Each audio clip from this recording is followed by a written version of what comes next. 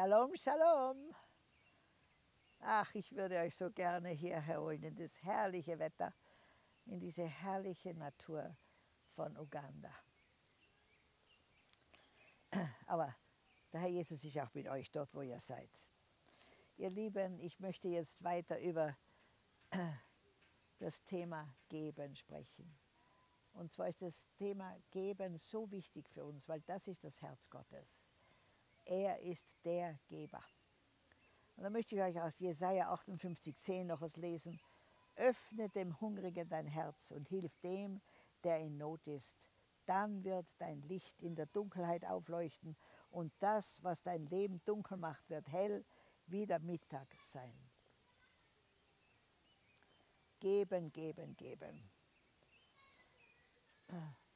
Ich habe den Herrn vor einiger Zeit gefragt, wieso er mich so segnen kann. Ihr Lieben, ich bin gesegnet in jeder Hinsicht. Der Herr legt mir Gebete aufs Herz, die er sofort beantwortet. Also die lächerlichsten Gebete, wisst ihr? Oder Wünsche. Oder erinnert mich, was ich mir je gewünscht habe in meinem Leben. Und er tut es. Ich muss euch nur was ganz Dummes sagen. Aber ich wollte als Kind immer Bäuerin werden.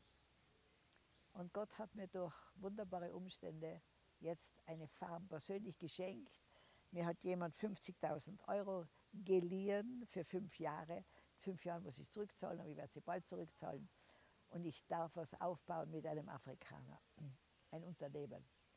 Und wir haben jetzt eine, eine Zuchtfarm aufgebaut.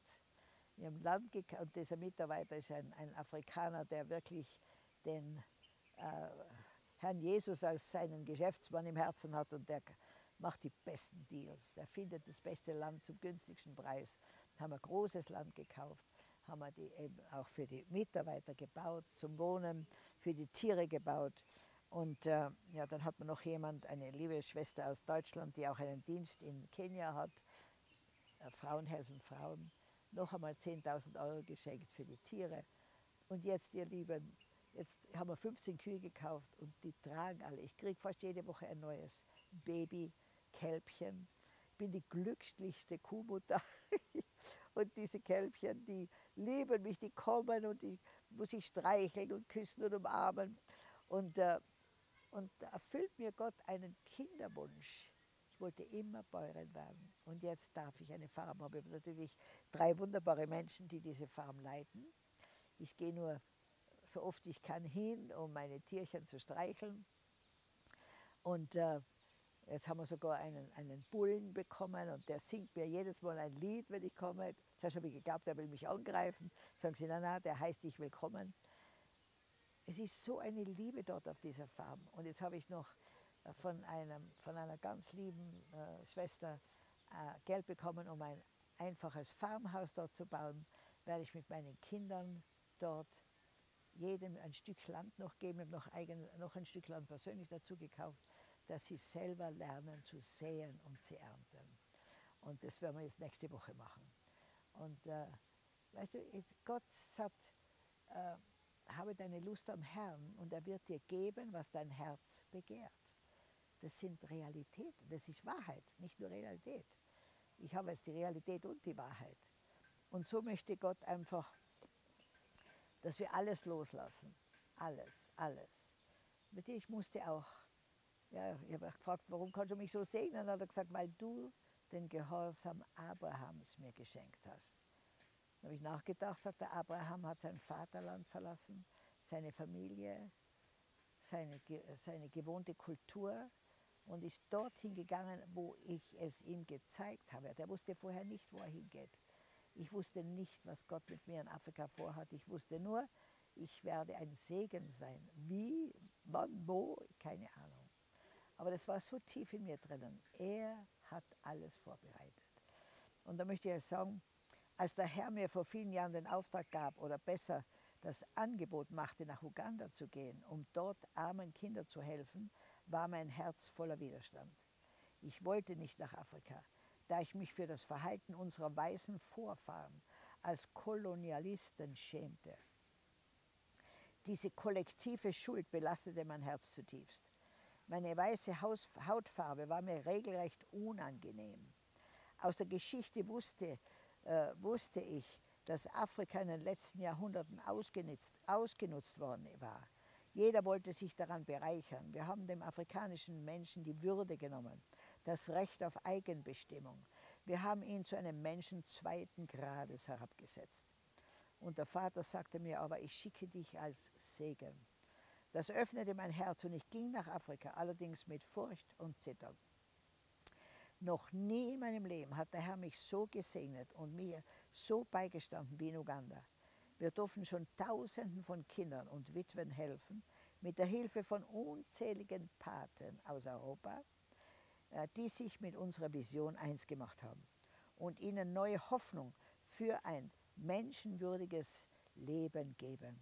Ich bin die glücklichste Missionarin und die glücklichste Mutter von Tausenden von Kindern geworden. Und all das passiert, wenn wir Gottes Stimme folgen und uns auf seine Pläne einlassen. Ja, ich habe äh, im letzten äh, YouTube schon gesprochen über, äh, über den Zehnten und über Geben. Dass Gott uns, erstens einmal sollen wir uns bedingungslos Gott geben, ihm verschenken. Er hat Pläne, er hat einen Traum für dein Leben, der weit über dein Vorstellungsvermögen hinausgeht. Du hast keine Ahnung, was Gott für dich geplant hat, wenn du dich ihm bedingungslos hingibst. Er wird dich dann durch Täler und Höhen führen. Und er wird dich vorbereiten, denn für jeden Traum, den Gott mit uns hat, brauchen wir auch einen bestimmten Charakter. Und der muss in den mit richtigen Entscheidungen in den Lebensbedingungen geformt werden. So, und heute möchte ich gern sprechen mit euch über den dritten Schlüssel und das ist Dankbarkeit. In 5. Mose 18 lesen wir, wenn ihr dann gegessen habt und satt seid, sollt ihr den Herrn, euren Gott, für das gute Land, das er euch gegeben hat, loben. Und jetzt möchte ich euch vorlesen die Verse 11 bis 14 und dann Vers 17. Passt aber auf und hört gut zu, denn ich glaube, das trifft jetzt besonders für Europa, aber auch für andere Nationen äh, sehr zu. Passt aber auf, dass ihr den Herrn, euren Gott, nicht vergesst und dann seine Gebote, seine Vorschriften und Gesetze, die ich euch heute gebe, nicht mehr befolgt. Wenn ihr genug zu essen habt und euch prächtige Häuser baut und darin wohnt und wenn eure Schafe, Ziegen und Rinderherden groß werden und ihr viel Gold und Silber und vieles andere besitzt, dann werdet nicht überheblich. Und vergesst nicht den Herrn, euren Gott, der euch aus der Sklaverei in Ägypten befreit hat. Dann Vers 17. Denkt nur nicht, ihr wärt aus eigener Kraft und Anstrengung reich geworden. Erinnert euch vielmehr daran, dass es der Herr, euer Gott ist, der euch die Kraft gibt, Reichtum zu erwerben. Denn er erfüllt den Bund, den er mit euren Vorfahren schloss und der jetzt noch gilt. Dankbarkeit für das, was wir bekommen, ist sehr wichtig. Sie vergegenwärtigt uns permanent den Segen Gottes und wir verlieren dann nie Gott aus den Augen und aus unserem Herzen. Und immer wieder ein frohes Danke zu sagen. Du kannst nicht oft genug Danke sagen. Wisst ihr, zum Beispiel heute, wie oft ich schon Danke gesagt habe für die herrlichen Blumen hier, das herrliche, die Bäume, das herrliche Wetter, die liebenswerten Menschen, dass ich bereits ein Frühstück bekommen konnte, eine Dusche nehmen konnte, dass ich Kleider habe, die ich ansehen kann. Seid dankbar. Dankbarkeit verhindert Bitterkeit in unserem Leben und bringt Zufriedenheit. Wir bleiben dadurch offen für die Güte Gottes. Unser Glaube wird nicht getrübt und unsere Erwartungen bleiben positiv. Danken schützt vor Wanken. Loben zieht nach oben und Zweifel sind vom Teufel. Aber vor allem Danken schützt vor Wanken. So, was muss ich loslassen? Ich persönlich bin zutiefst überzeugt, dass Gott uns segnet, damit wir zum Segen werden. Wenn wir uns an das Geld zu klammern beginnen oder, es, oder an das, was wir haben, dann werden wir früher oder später von einem Armutsgeist beherrscht, ganz gleich wie reich wir sind.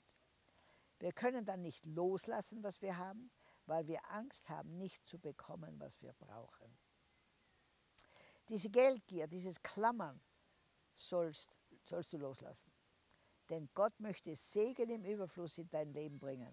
Segne die Bedürftigen, die Gott in dein Leben bringt.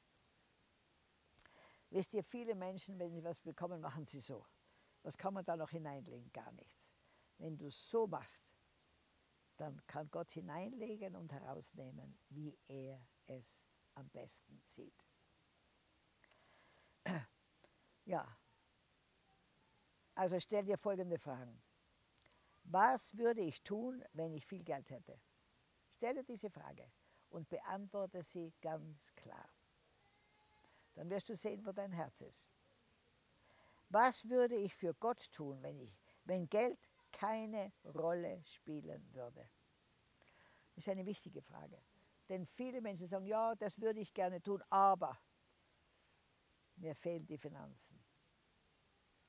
Was Gott anschafft, das bezahlt er.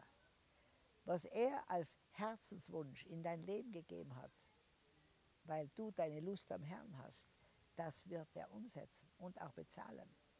Ihr Lieben, mein nächster Traum hier in Afrika ist eine Top Talent Academy, also eine, eine Schule für ca. 1300 arme Straßenkinder, die höchst talentiert sind in Sport, in Musik, in Kunst. Und da werden wir von der Volksschule, also von, von das ist sieben Jahre und sechs Jahre Mittelschule sind 13 Jahre, werden wir 1300, jede Klassenzug 100 Kinder, 1300 der besten Talente Afrikas unter den Ärmsten freisetzen. Ich freue mich unwahrscheinlich darauf. Und das möchte ich jetzt um, umsetzen. Das Land haben wir schon, großes Land. Und den Rest machen wir jetzt Schritt für Schritt, wie Gott es uns zeigt. Wie, und wenn du dich da einklicken möchtest, bitte, bitte. Wir sind dankbar für jeden, der da dabei sein möchte. Und nach oben ist keine Grenze gesetzt, ihr Lieben, aber auch nach unten nicht. Jeder Euro zählt. Und wir sind dankbar für jeden Euro. Dann, wie schwer fällt es mir zu schenken? Zuerst mich selbst an Gott und dann alles, was ich habe und besitze. Wie schwer fällt es dir? Überleg diese, diese, diesen Gedanken. Lass ihn in dir wirken ich verkaufe jetzt alles in Europa. Gott hat mir gesagt, ich soll mich frei machen und werde alles hier investieren ins Reich Gottes. Freue mich unwahrscheinlich. Rede ich mit Gott über die Opfer, die ich gebe? Hast du schon Gott gefragt in einzelnen Situationen, wie viel möchtest du, dass ich da beitrage? Das mache ich immer wieder. Ist mein Selbstwert vom Geld abhängig?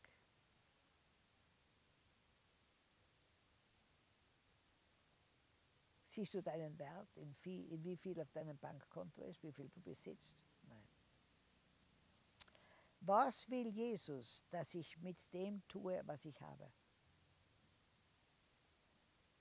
Es sind Fragen, die unter die Haut gehen, ihr Lieben. Gebe ich den Zehnten? Bin ich ein freudiger Geber? Wie schätzen mich meine Familie und meine Freunde ein? danke ich Gott für den empfangenen Segen. Ihr Lieben, meine Mutter hat mich gelehrt zu geben, bis es weh tut. Und mein Vater war so besorgt eigentlich um mich als eben nicht geistiger Mensch. Er war sehr nüchtern, er wollte, dass es seinen Kindern gut geht. Und ich war für ihn ein großes Problem, weil ich immer alles verschenkt habe. Und dann hat er sogar gesagt, ich werde dir kein Erbe geben, du verschenkst ja sowieso nur alles. Er hat mir dann trotzdem eins gegeben, aber ein kleines, aber das ist okay. Ich wäre auch ohne Erbe von Gott reichlich beschenkt geworden. Und, äh, und auch jetzt, ihr Lieben, ich schenke, schenke, schenke, aber es kommt zurück in so einem Ausmaß, dass ich fast mit dem Verschenken nicht nachkomme. Und ich möchte jetzt ein Gebet mit euch beten. Und er sagt, schließ deine Augen und dann bete mit mir jeden Satz nach und lass ihn wirken auf dein Herz. Vater im Himmel, ich danke dir, dass du mir mein Leben gegeben hast und dass ich von dir bis zum heutigen Tag alles bekommen habe, was ich brauche. Ich danke dir, dass du ein gebender Gott bist und dass du mir Jesus geschenkt, Jesus Christus geschenkt hast. Er ist für mich gestorben, damit ich leben kann. Ich danke dir, Vater, dass du mich erlöst hast und dass alle Verheißungen des Wortes Gottes für mich gültig sind. Vater, ich bekenne, dass in meinem Herzen Misstrauen, Habgier, Angst und Kleinglaube herrschen. Ich bekenne dir diese Schuld, dass ich dich beraubt habe, indem ich meinen Zehnten nicht voll und ganz in dein Vorratshaus gebracht habe. Ich bekenne, dass ich Angst habe, loszulassen was ich habe, weil ich dir nicht vertraue, dass du mir gibst, was ich brauche. Ich bekenne diese falsche Lebenseinstellung, diese falschen Lebenseinstellungen. Ich tue Buße, Herr, und ändere mein Denken. Du wirst alle meine Bedürfnisse befriedigen gemäß deines Reichtums in Herrlichkeit. Reinige mich, Herr, und schenke mir das gebende Herz Jesu. Öffne mir auch die Augen und Ohren des Herzens, damit ich täglich erkenne, was du für mich vorbereitet hast damit ich darin wandle. Vater im Himmel, zeig mir auch, was ich ganz konkret in dein Reich investieren soll, damit ich ein Segen für diese Welt werden kann und auch deinen Segen erleben darf. Mach mich zu einem freudigen, großzügigen Geber. Darum bitte ich dich in Jesu Namen. Amen. Würde euch raten oder ich würde dir raten, dass du das Gebet niederschreibst und immer wieder mal betest. Denn das ist die Schlüsselfrage in unserem Leben. Sind wir ein Geber oder ein Konsument? Und jetzt möchte ich euch noch eine, eine Übung empfehlen. Also wenn du deinen Zehnten noch nicht gibst, fang heute damit an. Wenn, du das schon, wenn das schon der Fall ist, überlege, wo Gott das, was du hast, einsetzen möchte und gebe mutige Schritte. Und da rate ich euch auch, wenn ihr bisher noch nie den Zehnten gegeben habt, bittet doch den Herrn, wie ihr mit einer Summe alles abdecken könnt, was bisher fehlgelaufen ist. Er wird es dir zeigen. Und dann gehorche. Und dann sei treu jeden Monat. Und mach einen Dauerauftrag wie ich auf der Bank. Und es wird dir nicht fehlen. Im Gegenteil, du wirst sehen, wie diese Samen, die du gesät hast, ins Reich Gottes reiche Ernte bringen. Ruf jemand an der, und unternehme etwas mit der Person. Fang an, Menschen zu loben. Besonders auch solche, die du nicht so sehr magst. Fang an zu geben. Fang an, ein herzhafter, sich verschenkender zu werden. Es gibt so viele Dinge, für die wir andere loben können. Und ihr Lieben, bete, dass Gott dir Kreativität gibt. Und ich bin drauf gekommen, eines der größten Gnadengaben, die wir haben, sind Worte des Lebens. Fang an, Menschen mit deinen Worten zu segnen. Wie oft gehe ich an einer Person vorbei und sage, weißt du was, Gott hatte einen super guten Tag, als er dich erschuf. Du bist ein enormes Aushängeschild für die Kreativität Gottes. Gott gibt dir so viele Gelegenheiten. Jedes Mal, wenn die Polizei mich stoppt, Fenster runter, sage ich, Herr Officer, ich weiß genau, warum Sie mich gestoppt haben. Ja, Mama, sage ich, weil du hören möchtest, dass Gott dich liebt. Menschen müssen hören, dass Gott sie liebt. Werde ein Sprachrohr Gottes. Werde gebende Hände Gottes. Werde dienende Beine Gottes. Werde ein liebendes Herz Gottes. Werde Augen, die Gott sehen, äh, die, Menschen, die die Menschen sehen, wie Gott sie sieht. Da musst du aber zuerst erkennen, wie er dich sieht. Lies einmal Hohes Lied der Liebe 4,7. Du bist mein Liebling, ich sehe keinen Fehler in dir. Sobald du das glaubst, wirst du auch anderen helfen dürfen, in ihre volle Identität durchzubrechen. Ich bete für dich jetzt, dass dieses Video Menschen aus einem ja, Dasein des Forderns, einem Dasein der Angst, einem Dasein des Klammerns herausholt und du anfängst, dich zu öffnen und zu geben. Geb, geb, geb, bis es weh tut. Und dann erwarte von Gott, dass, dass du ihn prüfen darfst, ob er dann nicht die Schleuse des Himmels öffnet und du gar nicht mehr weißt, wohin damit. Also, Shalom, Shalom.